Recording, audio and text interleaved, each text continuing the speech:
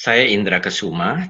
35 penelitian bidang fisika dari seluruh Indonesia sangatlah menjanjikan dan membanggakan untuk menghasilkan inovasi yang berguna. Saya ingin memberikan beberapa masukan, yaitu apa yang menjadi hipotesa dari penelitian ini harus lebih dijelaskan secara jelas.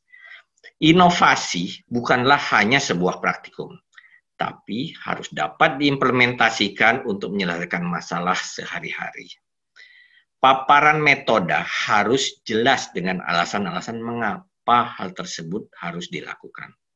Pengaruh faktor lingkungan terhadap pengukuran harus disebutkan satu persatu dan didiskusikan dalam laporannya.